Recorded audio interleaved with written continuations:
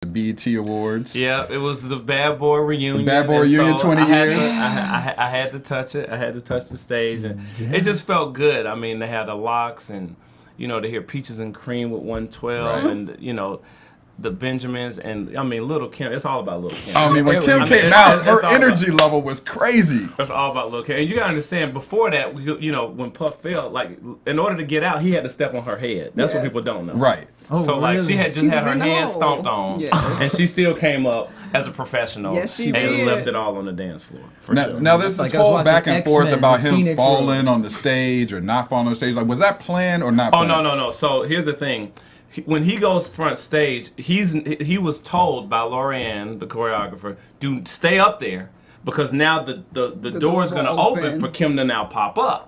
But Puff said he was in the moment and he was grooving. He felt that he was getting too much shine and he wanted the LOX to get some shine. But you're supposed to walk around. Yeah. But he turned around and doing his diddy bop and, and disappeared. And so, you know, uh, it was interesting because he literally didn't hit anything. Like he just fell down.